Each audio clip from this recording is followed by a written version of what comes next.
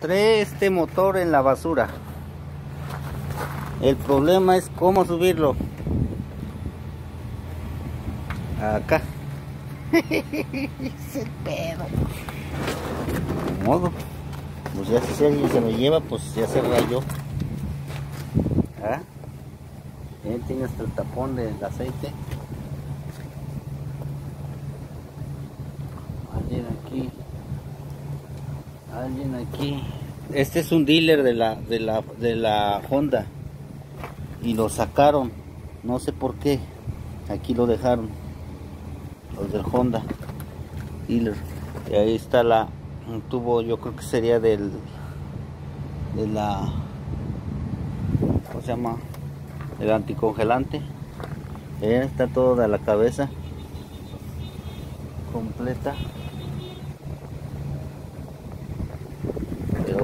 Es cómo subirlo ahí.